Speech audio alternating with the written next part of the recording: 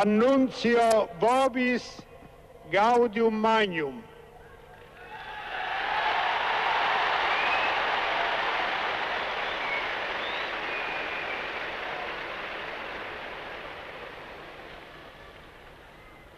Abemus papam.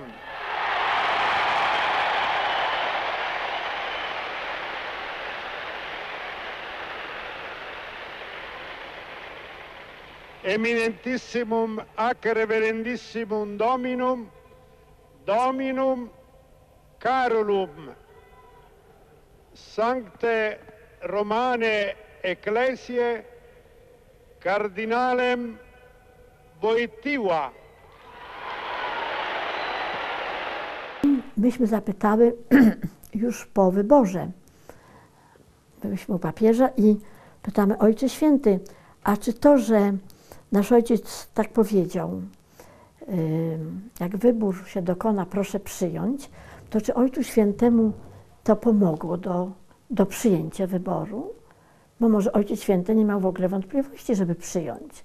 Ale jeśli Ojciec Święty się wahał, to czy to pomogło? I teraz odpowiedź Ojca Świętego.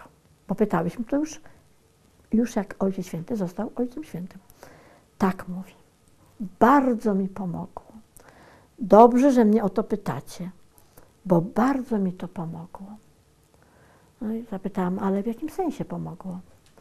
Nigdy bym wyboru nie przyjął bez, tej, bez tego zdania prymasa tak powiedziane było takim głosem, jakby ksiądz prymas mnie wydawał rozkaz. No a ksiądz Karol Wojtyła, no zanim został papieżem, no to był, to prymas był dla niego jakby takim troszkę zwierzchnikiem. Mówi, uważałem to za rozkaz. Nie przyjąłbym. A ja mówię, dlaczego by ksiądz kardynał nie przyjął wyboru? I teraz wzruszające zdanie bo nie, zas, nie, zostawiłby go, nie zostawiłbym go tam samego w wojującym komunizmie.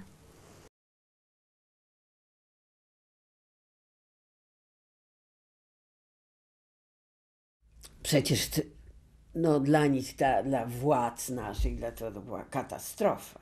To była katastrofa. Cóż oni mogli wobec całego świata, prawda? Ktoś mi opowiadał, że był u niego redaktor jakiegoś czasopisma i zatelefonował do swojego szefa, do redaktora naczelnego. Czy już wie, że Karol Wojtyła został wybrany papieżem? I w pewnym momencie zatkał tę słuchawkę yy, i, za, i dusił się ze śmiechu ten, ten, ten. Dlaczego żeś się śmiał? bo naczelny krzyknął, jak to? Przecież to nie było uzgodnione.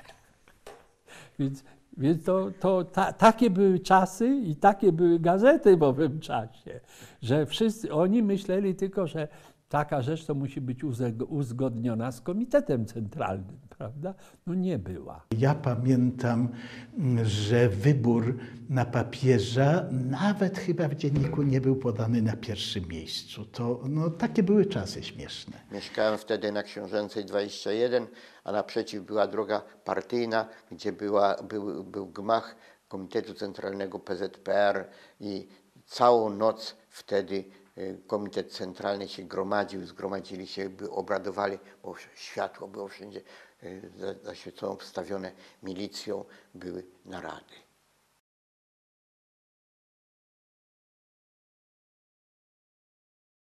Y, pierwsze moje wspomnienie z Karolem Wojtyłą to jest 16 października 78 roku i właściwie moje przyjęcie urodzinowe bo wtedy gasiłam świeczki na moim torcie. Kończyłam wtedy 6 lat, e, a z telewizora dobiegła informacja, że Karol Wojtyła został papieżem. Także od tamtego dnia już nierozłącznie dzień moich urodzin, 16 października, kojarzy mi się z wyborem e, Karola Wojtyły na stolicę Piotrową. I Wtedy odprawiałem mszę świętą, po mszy świętej, u świętego Aleksandra, po mszy świętej wychodząc, ludzie już stali od strony Nowego Światu na, taki, na, na takim podejściu. Mówi, proszę księdza, mamy nowego Ojca Świętego. Kogo? Karola Wojtyłę z Krakowa. No, od razuśmy od, odśpiewali, Boże coś Polskę i tak i ludzie się zbiegli. Jakieś cudowne zjawisko dla Polski, dla Kościoła. Byliśmy sami wtedy z mężem, we dwoje jeszcze nie mieszkaliśmy tu, tylko na Żurawiej. Mały Sławek zaczął krzyczeć w ogóle. jak się ten dym ukazał, jak habemus papam. to było coś, to było tak nieprawdopodobne przeżycie. Nieprawdopodobne. Jak zacząłem skakać, e, nie trzymając się kierownicy, to także aż pod, pod sufit się, tego. No ucieszyłem się, bo wszyscy myśleli, że raczej jeżeli Polak, to będzie Wyszyński. No już staruszek, ale, ale że będzie Wyszyński. A tu Wojtyła. No, ciekawe, jak on będzie przemawiał. Nie? No i potem pokazuje, już potem tu dojechałem, to już w telewizji widziałem, jak mówi, no fantastycznie po włosku, ale przyjęcie było takie, takie, więc radość była olbrzymia, na pewno. Sz- Szedłem akurat do naszego kościoła akademickiego spóźniony, bo tam mnie zatrzymali przy pewnych sprawach, a miałem mieć dyżur w konfesjonale, więc biegnę szybko. I podbiega do mnie student Harnasiu, bo wtedy musieliśmy nosić pseudonimy, bo na obozach trzeba się było ukrywać. Za prowadzenie takiego obozu z młodzieżą ksiądz szedł do więzienia. Nie przyznali tytuł Harnaś, bo z nimi zazwyczaj po górach chadzałem. Harnasiu, kardynał Wojtyła został papieżem. Nie dotarło to do mnie w pierwszej chwili. Mówię, tak, tak, dziękuję Ci bardzo, biegnę dalej i nagle to dotarło do mojej świadomości. Przystanąłem, akurat taki słupek granitowy był przy bramie kurialnej. Usiadłem na tym słupku, bo mi władzę w, w tych nogach odebrało.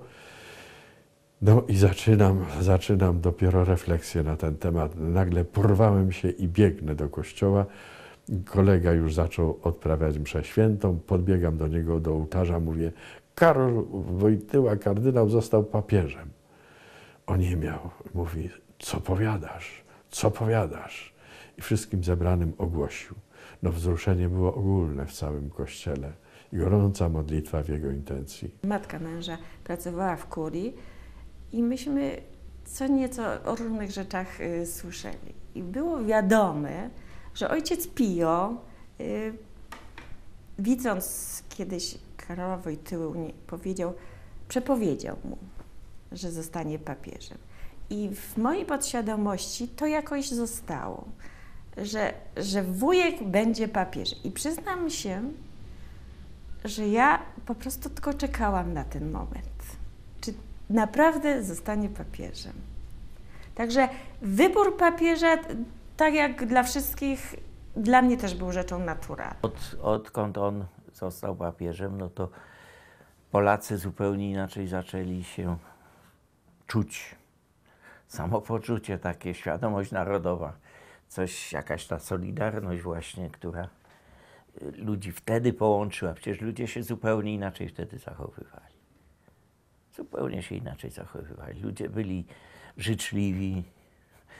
Yy, obcy ludzie zupełnie inaczej się do siebie odnosili. Nie, nie tak jak, jak później, jak zapomnieli już o tym.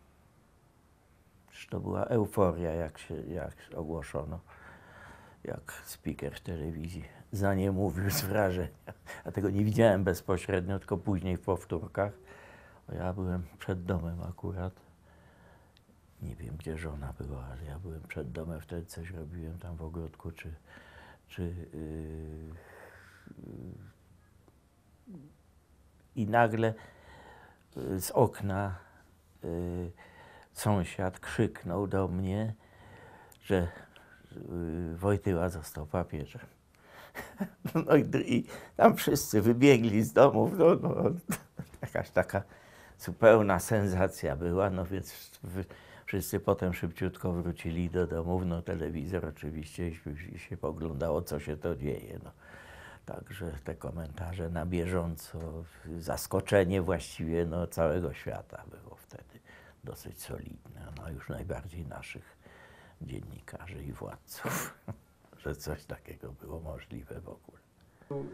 To była godzina koło wpół do siódmej To znaczy, y, y, u nas dzieci, no to był 78 rok, czyli 8 lat, y, przepraszam, no 8, 8 lat i 12, tak? 8 i więcej, no 14.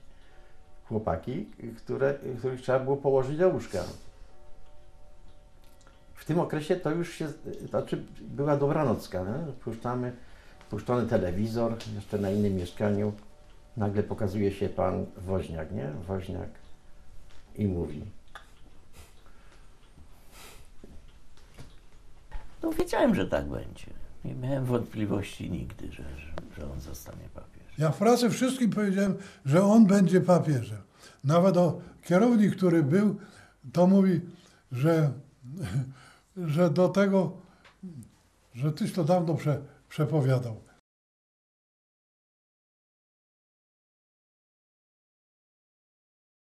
Chciałem dodać, że byłem na y, inauguracji pontyfikatu. W ciągu jednego dnia za komuny musiałem załatwić sobie y, paszport, wizę. To było coś niesamowitego i właściwie to opatrzność tutaj zadziałała, że udało mi się to wszystko załatwić. Do tego mnie nakłonił biskup y, Zbigniew Kraszewski, który był moim przełożonym tutaj w kurii. Mówi, jedziesz do Rzymu, masz sobie jutro załatwić wszystkie rzeczy, pojutrze wyjeżdżamy y, o 16. Jutro wyjeżdżamy o 16. Nie, bo to jest niemożliwe. Nie mam paszportu i nie mam wizy.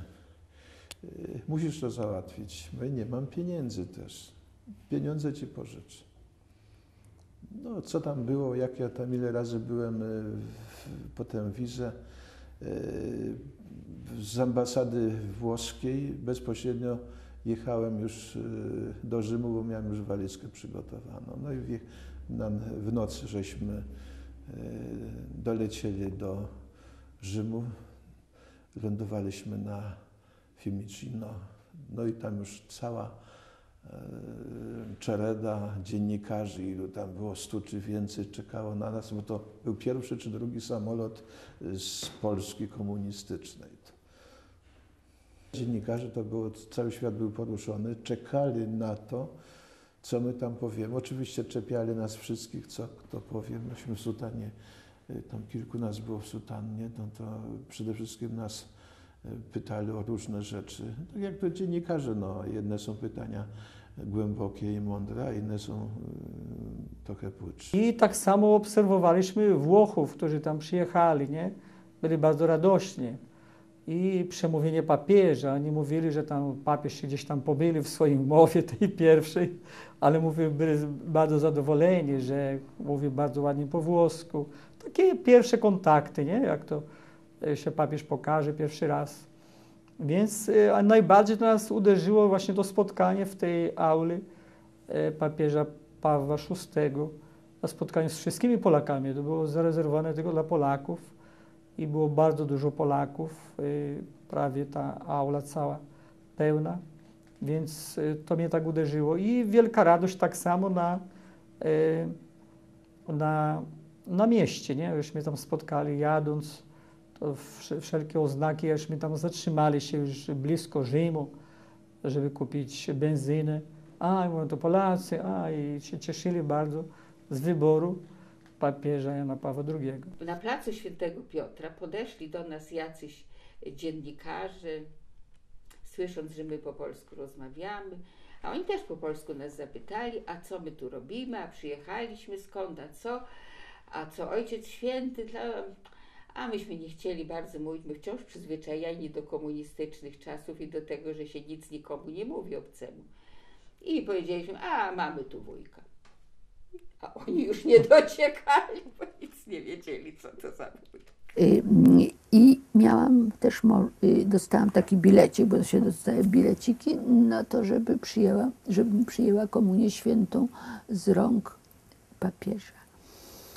No i podchodzę, a Ojciec Święty tak kiwnął głową. Widzisz, przed udzieleniem Widzisz, co się stało? No i na każdym lotnisku, gdzieśmy byli, bili nam brawo, jak żeśmy szli i krzyczeli, to teraz macie papieża.